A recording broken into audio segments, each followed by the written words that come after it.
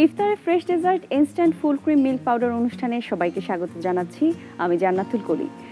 অনুষ্ঠানের সহযোগিতায় রয়েছে প্রথম আলো ডট কম দর্শক আজকে আমাদের সাথে যুক্ত হয়েছেন আপনাদের সবার প্রিয় মুখ অভিনেত্রী শবনম পারিয়া শুরুতেই তাকে ওয়েলকাম করে নেব। হ্যালো হ্যালো কি খবর? এই তো আমি খুব এক্সাইটেড তুমি আজকে আমাকে কি দেখাবে? ওয়েল আজকে কিন্তু আমি খুব সিম্পল একটা রেসিপি করে দেখাবো। এটা আসলে রেসিপিও বলা যায় না আমি বলব এটা একটা শেক ওকে সো আমি আজকে তৈরি করব বানানা মিল্কশেক তো বানানা মিল্কশেক বানানোর জন্য কি কি লাগে? চলো দেখিয়ে দিই। এখানে আছে ভ্যানিলা এসেন্স আছে মধু সেই সাথে আছে অফকোর্স বানানা প্রত্যেকটা আইটেম খুবই হেলদি একদম। আমি যেমন হানিটাকে সবসময় প্রেফার করি জুসের ক্ষেত্রে কারণ চিনির বদলে যদি আমরা হানিটাকে ব্যবহার করি এটা অনেক হেলদি এবং অ্যাপাটাইটেও অনেক হেল্প করে।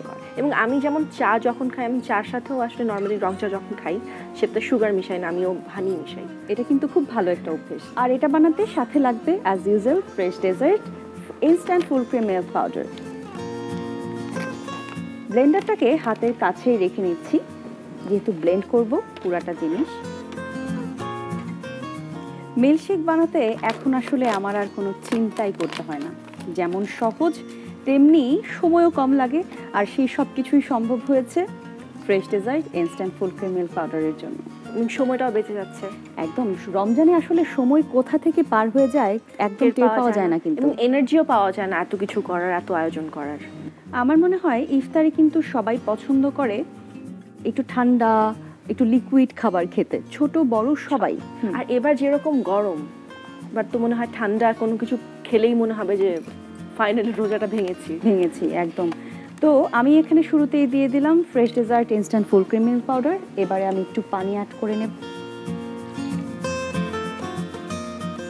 তারপর আমি বানানাটাকে ছিলে দিয়ে দেব।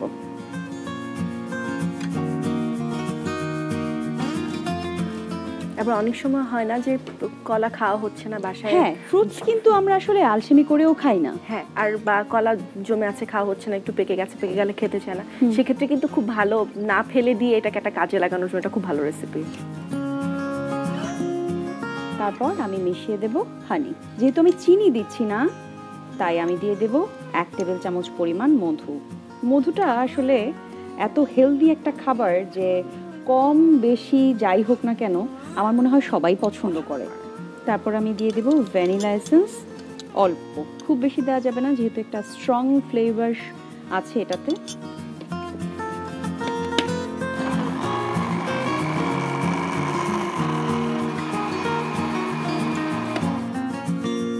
তৈরি হয়ে গেছে আমার বানানা মিল্কশেক এবারে আমি এটাকে ঢেলে নেব।